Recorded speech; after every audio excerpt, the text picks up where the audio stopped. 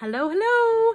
My name is Morgan and I am going to make a DIY dry shampoo. So um, it's taken me a couple years to kind of slowly switch out stuff that we use around here for a more natural product. Um, and dry shampoo is one of those things that like I kept reading recipes and I was like, you want me to put cocoa powder in my hair? Mm, nope no, I don't see that happening. So, um, so I got a little, I got a little, a little crazy, my friends, got a little crazy. So, um, the base of a DIY dry shampoo is arrowroot powder. Okay, that's the base of it. You can get it on Amazon. Um, I will, I can link it for it for you. The problem with arrowroot powder is that it's white. So people like me who have darker hair or darker roots or have brown hair or red hair or black hair, all the things, it's really hard to use something that's like white, right?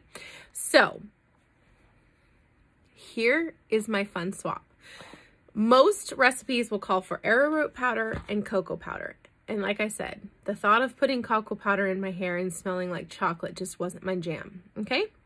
I mean, I, I wanted, I wanted to find a non-toxic, obviously, option. So this is what I found, you guys. You're going to love it.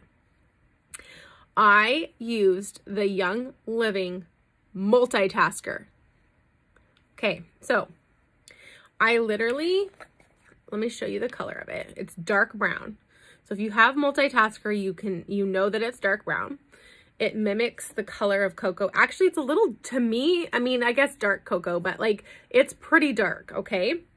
And a lot of people will use it to fill in their brows or, I mean, you could make an eyeliner with it. Um, you could even use it for eyeshadow if you wanted. Um, but mostly it was used for brows. So I mix it with this instead of cocoa powder. Amazing. So you guys, I'm going to be honest. I am not a measure. I don't know how much of this I did. I literally just did it by looks. So I put some of this in a jar. Okay. I use like a mason jar. Um, I put some in and then I literally just tapped a little bit of, and by tap, I mean literally you can just tap. See, it falls in there. Just tap a little bit.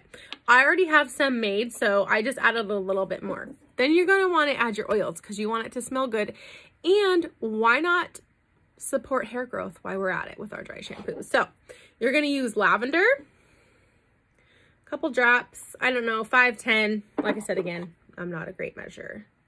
Cedarwood, sorry, cedarwood. Okay, and then the third one I put in is rosemary. And I probably do, I probably do 10 of the others and maybe five of rosemary, okay?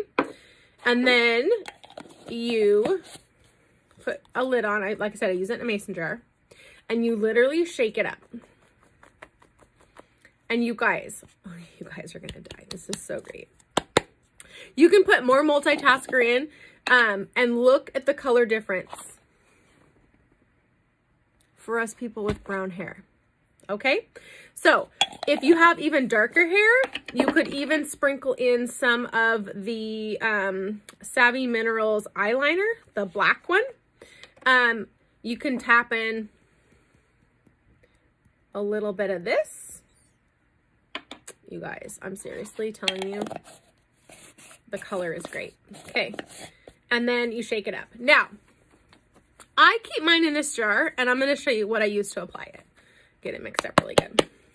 Okay, you guys, it's brown instead of white. Okay, so I'm going to show you how I use, I use a brush, okay, and I literally put, here, I'll show you, dab a little bit in, and then I use the lid and tap it in, okay, and then I literally will just pull up my roots and I like dab it on the roots of my hair. Now, another pro tip um, if you are not applying your dry shampoo at night, apply your dry shampoo at night.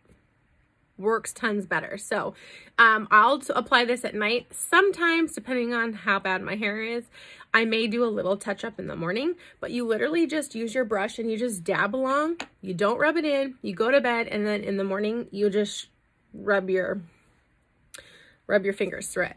Um and rub it in.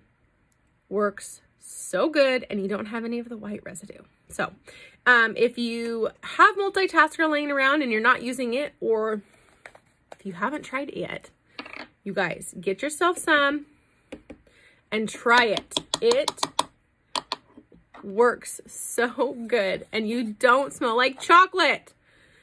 So there is my fun tip for dry shampoo.